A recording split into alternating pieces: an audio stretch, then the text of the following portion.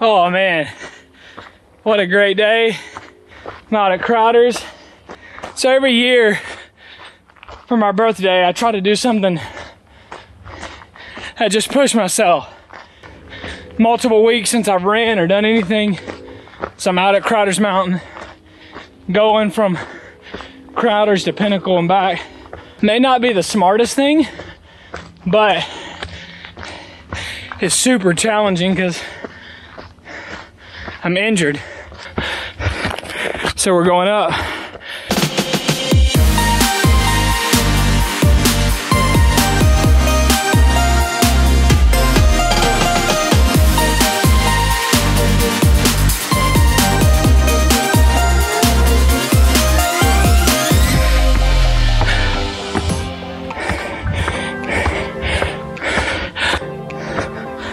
Oh man, look at that.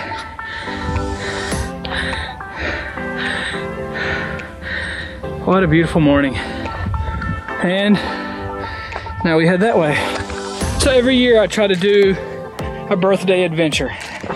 There's a lot of reasons behind it, but one, I try to do something where I have to push myself and I feel proud of myself. I'll get to that a little bit later, but I'll tell you a little bit about the adventures that I've had over the last few years. When I started doing this,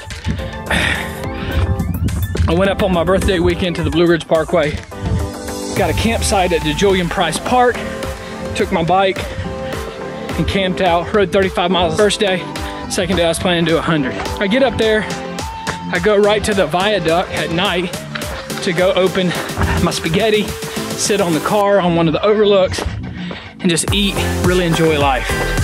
Well, while I was up there, I met an extremely nice elderly couple from Charlotte.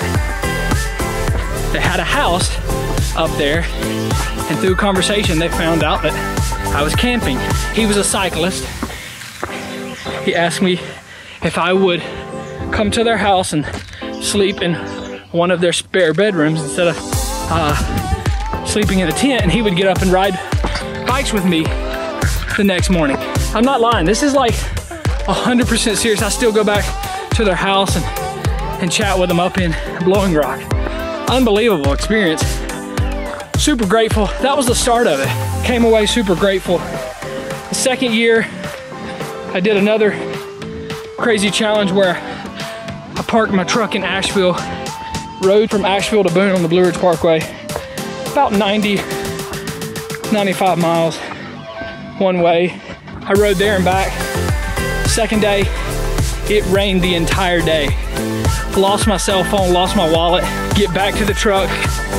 Luckily, left my keys at the truck, so I was able to drive home. I was able to get water, but no food all the way home. Barely had enough gas, ran out of gas turning onto my street. Crazy story, love it. You'll notice I love doing things about the story. Rode to Florida from North Carolina with John Gordon, Jonathan Fariotti, Andy Gordon, and uh, Paul Gordon first real bike packing trip, 410 miles, epic adventure.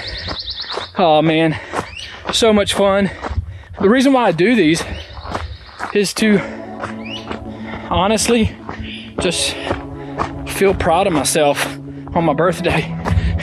Our family doesn't have a great track record of celebrating or feeling proud of themselves on their birthday, and it's my way of breaking it. It's just what I do. So now we keep running.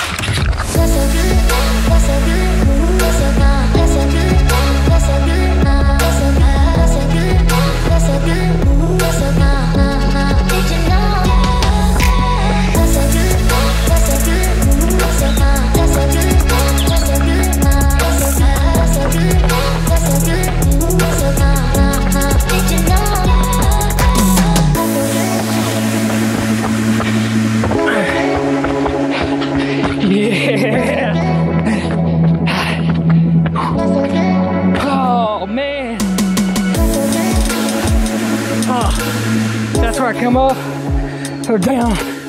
Oh, freaking love it. I love that section. My good buddy, Jonathan Fariotti at the Ultra Running Company.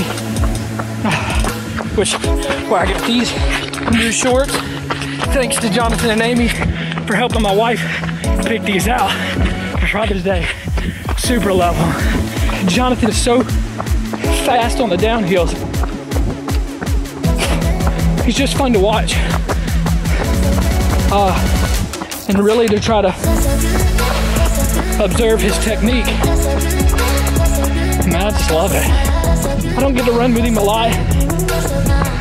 Our lives don't cross paths like they used to, but man, he's a good dude.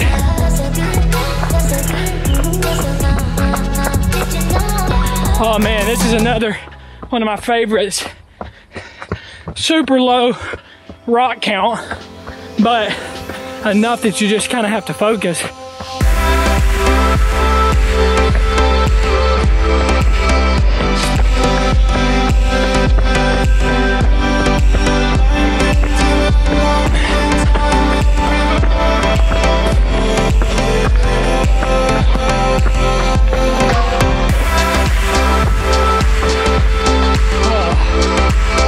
Today's challenge is to do something that you are proud of yourself for doing. For a lot of people, it's hard. It's just, what do I do? It's cheesy. I do this a lot. Stacking wins. It's help to change your mood. Just find something that you're proud of yourself for doing and go do it. And today, I'm out at Crowder's and I am climbed to the top of Pinnacle from Crowder's and now I'm running back. It's just doing something that you're proud of. Seriously, go out and do it. Be proud of yourself today. It's a mood changer.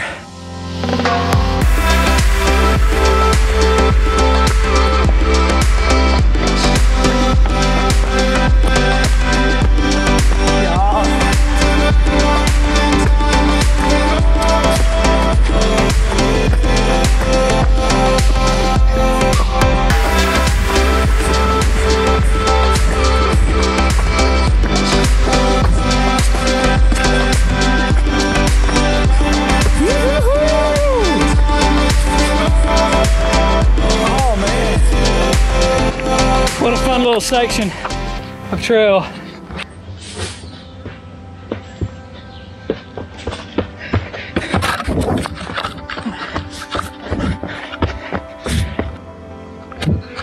Okay, well, I was able to get some water and uh, now we head back to the other side.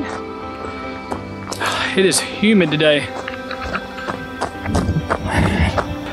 So I started right there and ran there and now I'm headed back to there.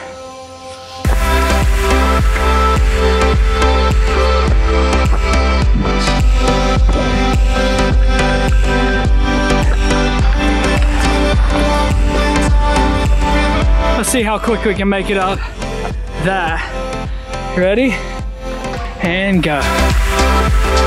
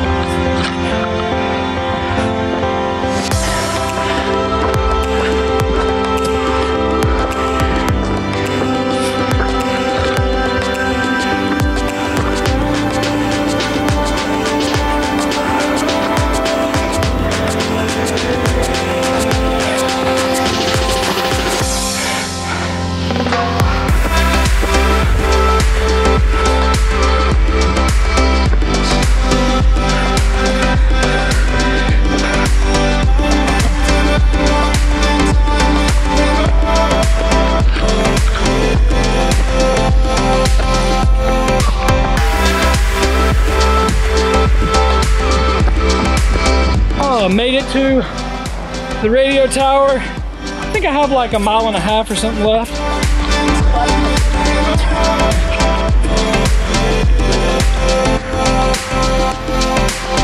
What an epic adventure today. She's 10 miles in. Just loving life. Had a lot of hurdles to overcome today, but today I'm 37. Uh, this epic birthday adventure something I love doing. I challenge you to do it. It's really good. Just do something on your birthday you're proud of. But year 37 for me. Something that I've been focused on and I'm going to be focusing on very intently this year is finishing strong. You know, a lot of times we very quickly forget the first mile or forget the start of whatever we're doing. But what we do remember is the last mile. Know, a lot of times we try to, howdy guys. A lot of times we just try to get it across the line. Just start strong and just want to finish. But the thing that we remember crossing the line. And uh, not all of them are clean or pretty. Some of them are just squeaking across the line, but I am going to try to finish strong in whatever I do in this 37th year of my life. I'm gonna focus more on the ending, on the getting across the finish line. Today, man, I really focused on the ending of this. It's cramping, hurting, uh, severe pain in my leg. I want to finish strong.